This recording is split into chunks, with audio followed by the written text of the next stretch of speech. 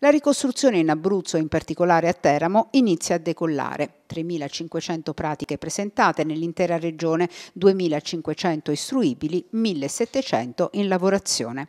A Teramo, a fronte di 800 pratiche, ne sono state definite 149, 620 i cantieri aperti in tutto l'Abruzzo, 106 solo a Teramo.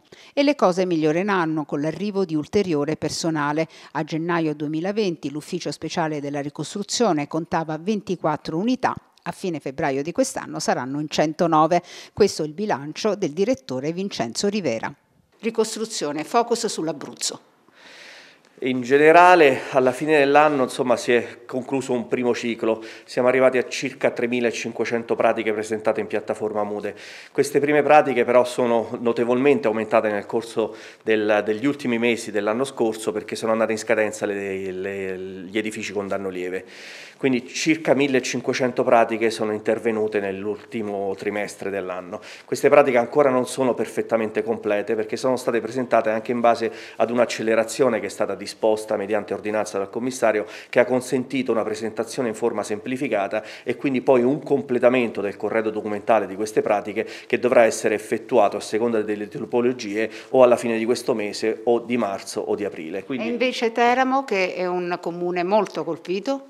Teramo ha complessivamente oggi 500 domande in piattaforma Mude, di queste circa 180 ancora sono da completare per come le dicevo prima e verranno completate entro il mese di aprile, quindi l'istruttoria comincerà a maggio.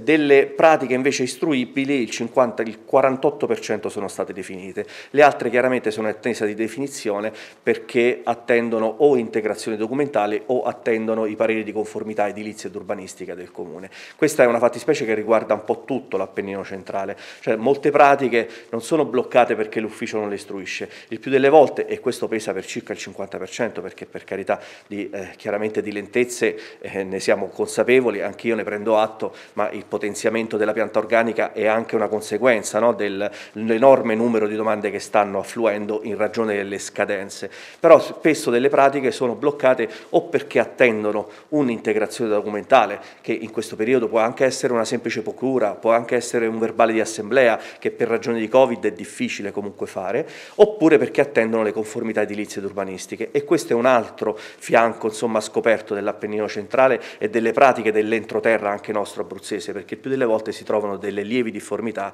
per le quali è necessario fare una procedura di sanatoria. E intanto arrivano 35 nuovi impiegati in questo ufficio e voi avrete la necessità di spostarvi.